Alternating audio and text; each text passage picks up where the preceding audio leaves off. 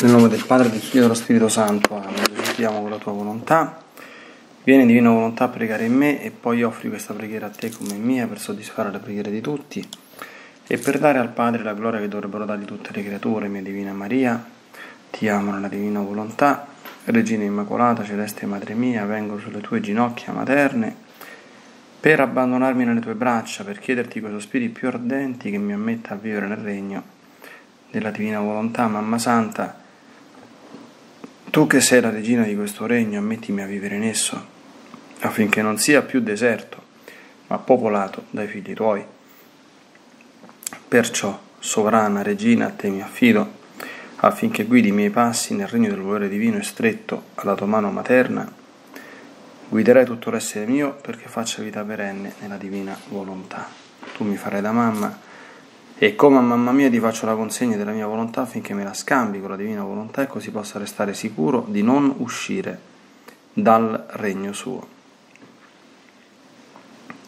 Perciò ti prego che mi illumini attraverso questa meditazione per farmi comprendere sempre più e sempre meglio che cosa significa volontà di Dio e come vivere in essa.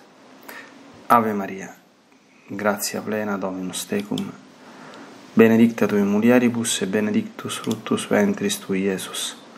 Sancta Maria, Mater Dei, ora pro nobis peccatoribus, nunc et in hora mortis nostre. Amen.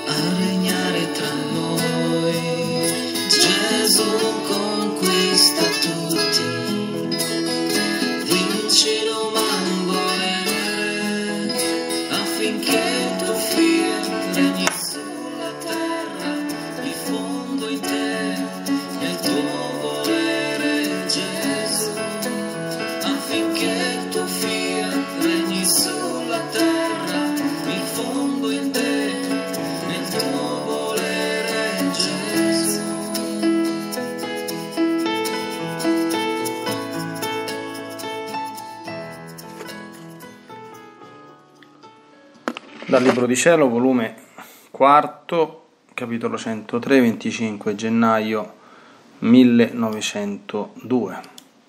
Questa mattina, dopo aver molto stentato, è venuto il mio adorabile Gesù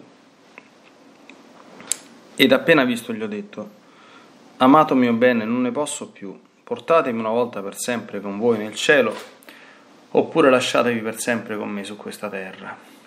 E lui, Fammi osservare un poco dove è giunta la febbre del tuo amore, che siccome la febbre naturale, quando giunge ad un grado alto, ha virtù di consumare il corpo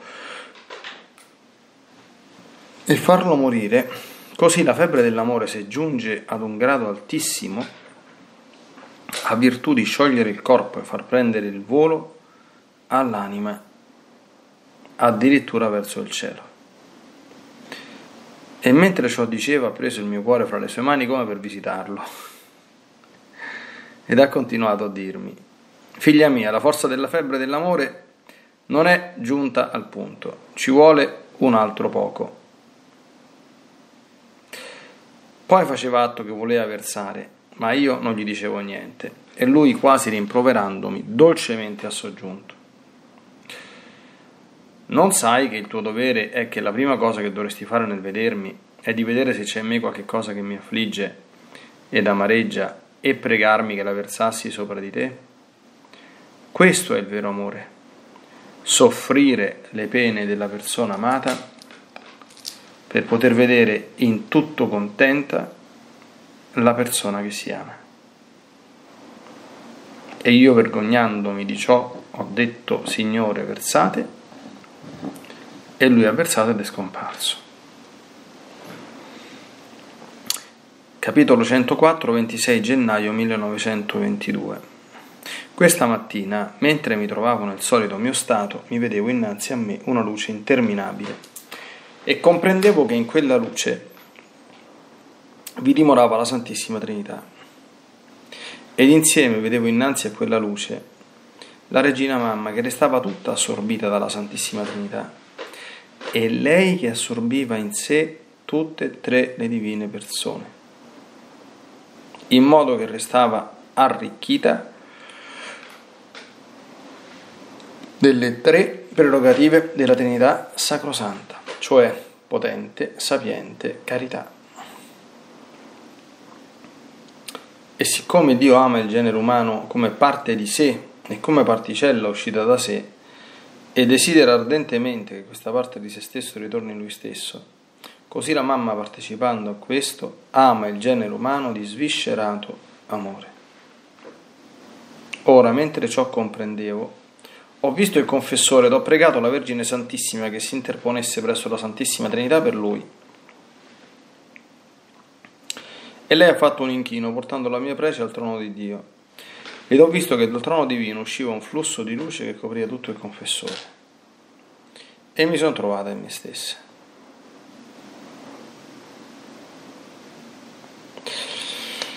capitolo 106, 8 febbraio 1902. Questa mattina nel venire il mio adorabile Gesù mi ha partecipato parte della sua passione. Ora mentre mi trovavo sofferente, il Signore, per rincuorarmi, mi ha detto, Figlia mia, il primo significato della passione contiene gloria, lode, onore, ringraziamento, riparazione alla, div- alla divinità. Il secondo è la salvezza delle anime, tutte le grazie che ci vogliono per ottenere allo stesso scopo. per ottenere lo stesso scopo. Onde chi partecipa alle pene della mia passione, la sua vita contiene in sé questi stessi significati, non solo, ma prende la stessa forma della mia umanità. E siccome detta umanità sta unita con la divinità, anche l'anima che partecipa alle mie pene sta a contatto con la divinità e può ottenere ciò che vuole. Anzi, le sue pene sono come chiavi per aprire tesori divini. Questo finché vive qua giù. E poi sta riservato anche al di là, nel cielo, una gloria de- distinta per sé, che le vienderà dall'umanità e divinità mia, in modo da assomigliarsi alla stessa mia luce e gloria, ed una gloria più speciale per tutta la corte celeste, che le verrà data per mezzo di quest'anima, perciò che io le ho comunicato, perché quanto più le anime si sono assomigliate a me nelle pene, tanto più da dentro la divinità uscirà luce e gloria, ed ecco che tutta la corte celeste parteciperà a questa gloria. Sia sempre benedetto il Signore e tutto per sua gloria e onore.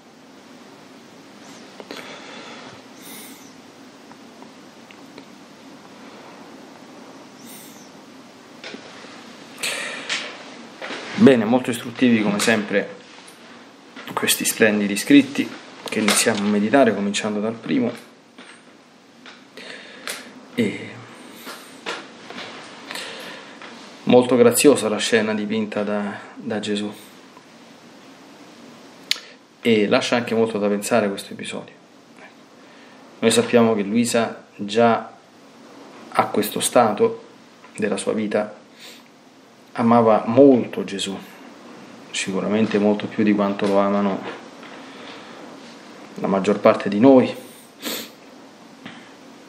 Aveva avuto esperienza di Gesù, gli era apparso tante volte, quindi sicuramente era già attivo in lei quel moto che vivono le anime appunto privilegiate, che appunto per aver pregustato la bellezza del paradiso, anche solo attraverso la santissima umanità di Gesù, e, come lei stessa dice, sono più di là che di qua, quindi cominciano a desiderare fortemente insomma, la, la morte per poter portare a consumazione piena tutti i desideri, godere della presenza di Gesù della visione beatifica senza interruzioni e senza possibilità di perderla. Gesù entra in questo gioco quando lei le chiede fammi morire presto, portami per sempre una volta con voi, oppure lasciatevi per sempre come su questa terra, no? Quindi, o mi porti in paradiso oppure stiamo in stato di apparizione ininterrotta, questo è quello che diceva Luisa, no? È molto grazioso Gesù perché Gesù non la vuole mortificare, perché purtroppo stare in stato di apparizione ininterrotta credo che sia un pochino difficile e forse Gesù l'avrebbe dovuta contrariare. Allora lui prende spunto dall'altra alternativa che gli ha proposto. Ecco, per fargli è interessantissimo, la visita al cuore, dice che ha preso il cuore come per visitarlo. E ha detto, no, no, non ci siamo. La febbre è ancora bassa. Ci vuole, e poi è interessante che dice ci vuole un altro poco. Qui come contano il poco dall'altra parte, e quell'altro poco sarebbero stati altri 45 anni perché se la memoria non mi inganna lui si è morto nel 1947 qui siamo nel 1902 ecco, mi sembra di sentire una Madonna di Fatima no? quando Sor Lucia gli chiese se Francesca e Giacinta andavano in cielo le diceva sì poi volgendo la domanda su se stessa dice ma io ci vengo in cielo dice sì ci vieni però devi rimanere ancora un po' sulla terra perché Dio si deve farmi conoscere e amare, insomma. Quel po' detto a Sor Lucia è stato quasi 90 anni, insomma, quindi eh, no, 90 no, ma 80 sì, eh, quindi allora non dobbiamo stupirci, insomma, di queste cose, no? Perché ecco, dall'altra parte il tempo da un lato non c'è per niente perché sta nella dimensione delle, dell'eternità, ecco dall'altro scorre in una maniera un pochino differente dal nostro. San Pietro dice davanti agli occhi del Signore un giorno sono come mille anni e mille anni come un giorno solo, qui ho già altre volte, insomma, scherzando un po', se è possibile, insomma, ma credo di sì, insomma, il Signore credo che abbia un buon santo senso dello humor, che sia sempre garbato e pulito, dico. Nel libro dell'Apocalisse c'è scritto, finisce così, no, ecco io vengo presto sono le ultimissime parole dell'ultimo capitolo, no? Eh, Gesù dice, ecco io, ecco, io vengo presto, uno si immagina che sia una cosa repentina, tant'è vero che sappiamo dai commentatori che nel Nuovo Testamento, si vede anche in alcune lettere di San Paolo, per esempio in quelle dei Salonicesi, aspettavano la parusia come evento imminente, cioè non pensavano che andasse avanti duemila anni e più, perché non è ancora finito, insomma, no? E molto probabilmente sulla base di, di queste parole, no? Eh, dice, dice, ma come ci ha messo tutto questo tempo Gesù? Eh, Gesù potrebbe dire, se agli occhi di Dio mille anni sono come il giorno di ieri che è passato, questo è scritto nella Bibbia, eh? Eh, scusiamo, eh, Gesù è, è, morto e risorto intorno al 30 d.C., non siamo neanche arrivati al 2030, quindi non sono neanche passati 2000 anni. Quindi il nostro Signore potrebbe dire, ehi, e sono passati manco due giorni, eh, che faccio? Ritorno prima di quando, quasi quasi ritorno prima di quanto, di, di quanto ci ho messo a risorgere. Aspetta un pochino, insomma, no? Facciamo passare almeno 3-4 giorni, e che vuol dire 3-4 mila anni, no? Quindi, eh, vabbè, questo, ecco, per per la consolazione postuma di Luisa, ecco, se giriamo nella, nella divina volontà possiamo mandargli questa consolazione nel momento in cui ha, ha sentito queste parole e ha avuto queste risposte, no? Ecco. Poi Gesù dice la cosa più importante però, perché dietro questa domanda, no, un po' come dietro la domanda dei figli di, di Zebedeo che ci riportano i Vangeli, no? dice Signore, facci sedere uno alla destra e uno alla sinistra, Gesù dice vabbè, questo non è importante, è importante che voi beviate il calice che devo bere. Ecco, quindi certamente Gesù gradisce i desideri e gli aneliti dei suoi figli, no? però gradisce assai di più, come le spiega, dice guarda che il tuo dovere che quando mi vedi devi chiedermi hai qualche sofferenza da condividere con me? Perché il vero amore soffre le pene della persona amata per poter vedere in tutto contenta la persona che si ama. Saranno una grande lezione, no? E certamente e nel regno della divina volontà questo lo sappiamo ancora di più, no? Chi vive in comunione con Dio vive una vita felice, già da qui. Mm, si possono ricevere delle grazie straordinarie, non dobbiamo desiderarle, ma si potrebbero ricevere e sono certamente delle cose bellissime, però lo stesso episodio evangelico anche della trasfigurazione, no? quando Pietro dice facciamo tre tende, una per te, una per Mosè ed una per Elia, è chiaro che noi vorremmo, vorremmo anticipare il paradiso da qui, ma no, non come si anticipa veramente ecco, nella, nella, divina volontà, con la felicità che accompagna la vita, no? proprio con la beatitudine, quindi perché insomma stare con Gesù è, è, è, è bellissimo, no? E Gesù però dice sì, eh, gradisce anche queste cose, eh, perché insomma desiderare Gesù e voler stare con Lui, io penso che ripari anche per molte ingratitudini, siamo alla vigilia della festa del Sacro Cuore, indifferenze, no? la gente non gliene importa zero proprio oggi di Gesù, cioè, neanche che è esistito, insomma, no? Ecco, però questo buon desiderio va temperato da quello più importante. Fino a quando siamo su questa terra il nostro compito è soffrire con Gesù essere amici della croce e farlo per la sua consolazione e perché lui sia contento. Uno non è che gode nel vederci soffrire, ormai questo non serve dire queste cose, no?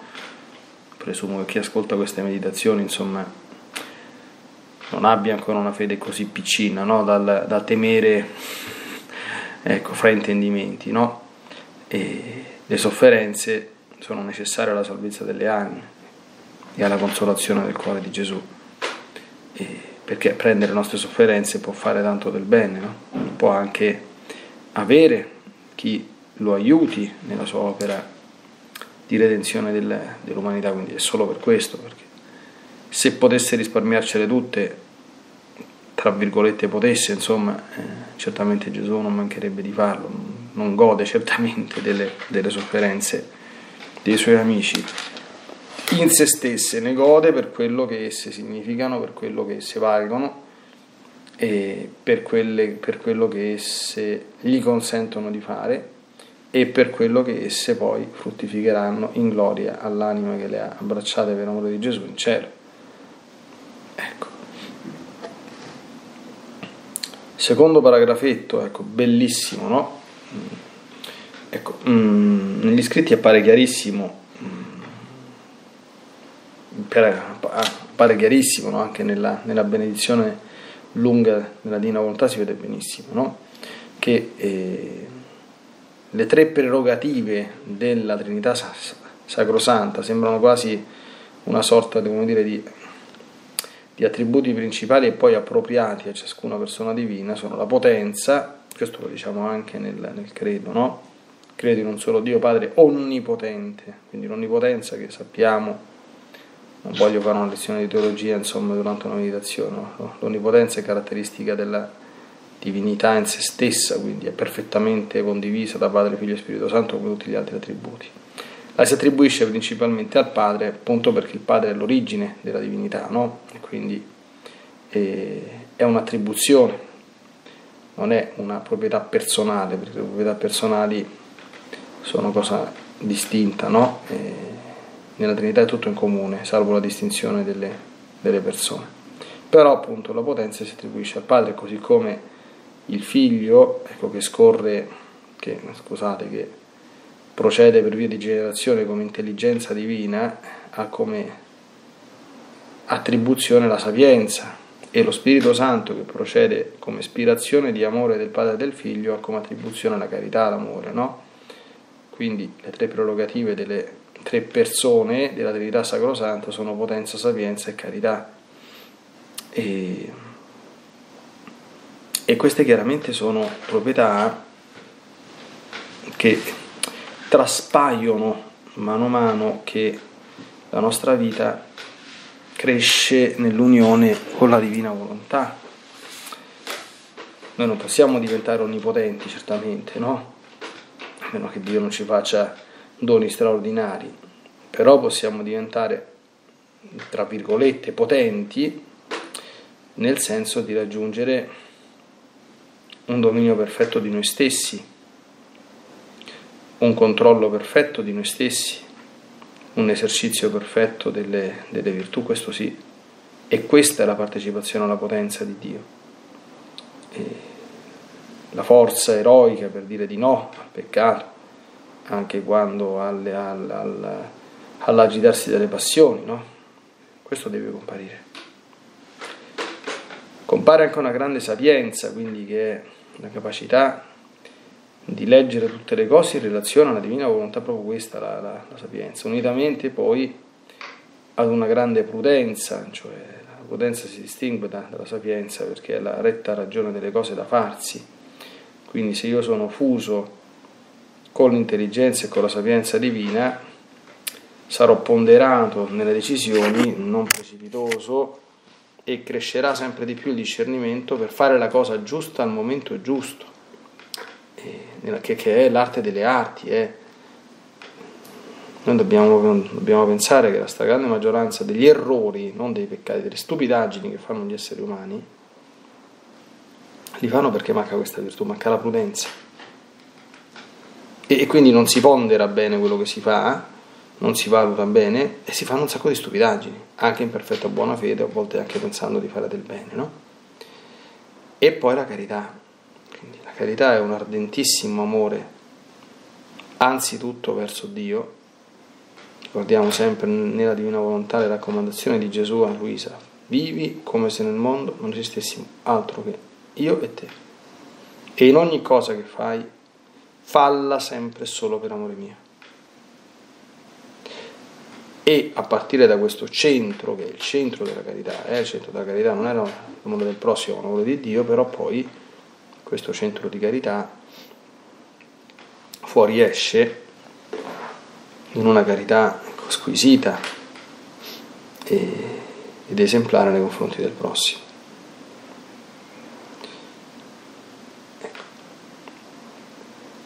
La visione che Luisa ha sembra richiamare la famosa frase che la Madonna disse alle tre fontane, no? io sono quelle che sono nella Santissima Trinità, tutta assorbita dalla Santissima Trinità e tutta assorbente la Santissima Trinità, perché lei queste prerogative divine le ha avute con perfezione, le ha proprio tirate, assorbite ecco, dal trono stesso e dal cuore stesso di Dio e hanno poi rifulso in tutta la sua persona terrena. No?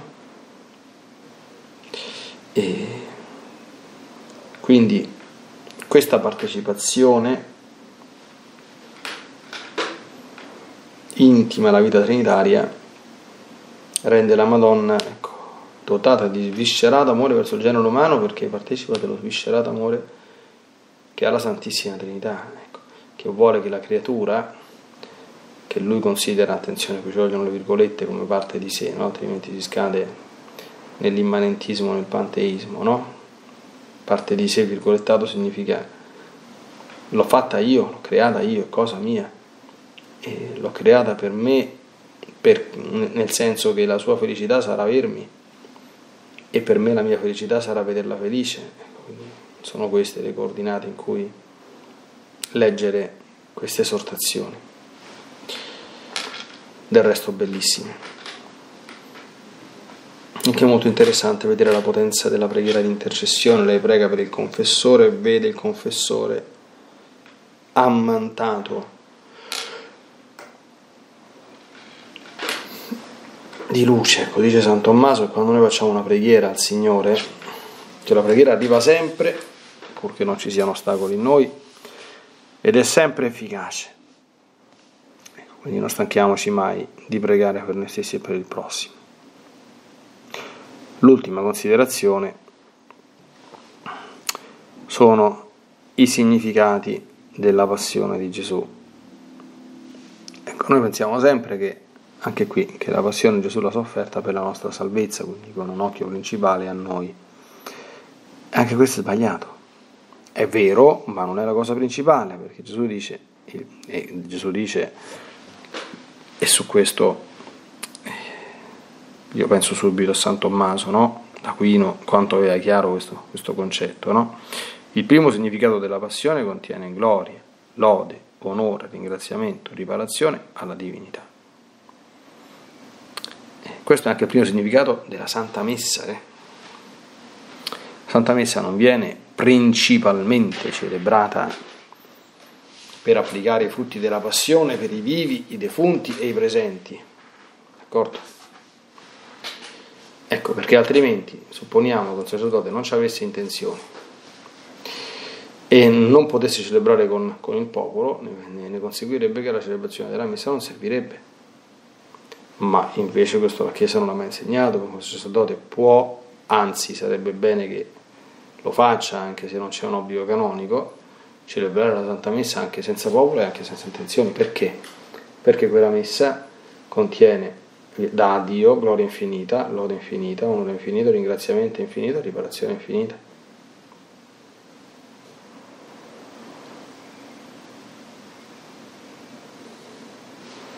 e anche il significato delle, no, del, del, delle nostre sofferenze. No?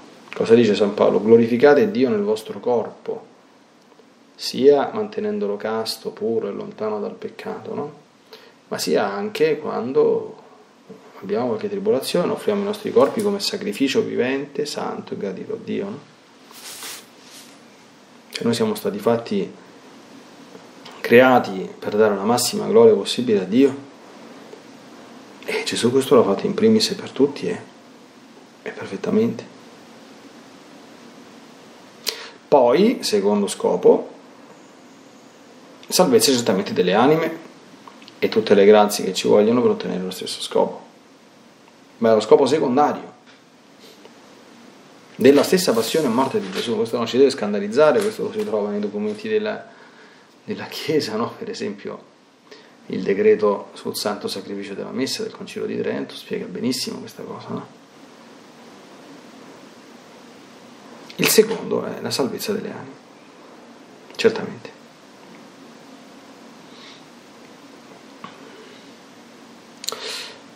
Ora sappiamo che Luisa ha avuto la grazia di partecipare straordinariamente alle sofferenze della passione di Gesù, no?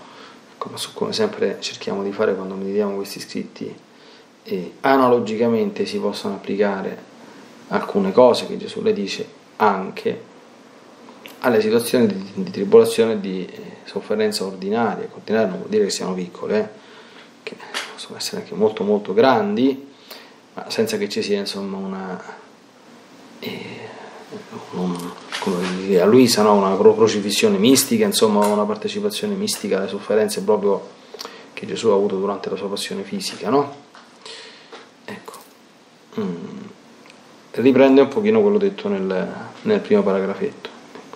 Ciò che ci unisce a Gesù e che dà tanta gloria a Dio è come e quanto sappiamo soffrire per Lui. E soffrire in Gesù significa prendere la stessa forma della sua umanità e dare alle nostre pene, pene la capacità di diventare chiavi che aprono i tesori divini. Inoltre si assume una tale somiglianza alla luce e alla gloria di Dio appunto che ridonda non soltanto a gloria della persona interessata, ma ridonda anche a gaudio degli stessi cittadini della Gerusalemme del cielo, del paradiso.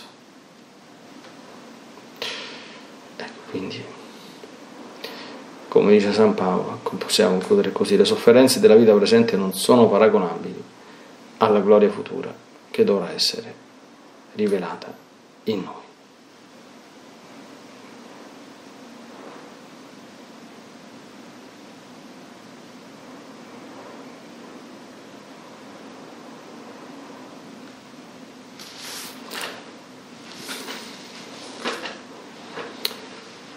Bene, oh Santissima Vergine Maria, fa che possiamo vivere sempre più uniti strettamente a Te, per poter godere attraverso di Te e in Te ecco, delle prerogative divine tanto belle, tanto santificanti per noi, che sono la potenza, la sapienza e la carità. Tienici sempre una grande purezza di intenzioni per poter non solo offrire le sofferenze, ma tutto ciò che facciamo al tuo Gesù per mezzo del tuo cuore immacolato, ecco, perché tutto abbia una caratura divina, una valenza divina, un modo superandi divino e non umano, perché, perché il regno della, della divina volontà presto si instauri nei nostri cuori. Nella divina volontà, nel nome del Padre, del Figlio e dello Spirito Santo, Amen. Ti benedico per aiutarti, ti benedico per difenderti, ti benedico per perdonarti, ti benedico per liberarti da ogni male, ti benedico per consolarti, ti benedico per farti santo, ti benedico dunque nella divina volontà, nel nome del Padre, del Figlio e dello Spirito Santo. Amen. Fiat Ave Maria.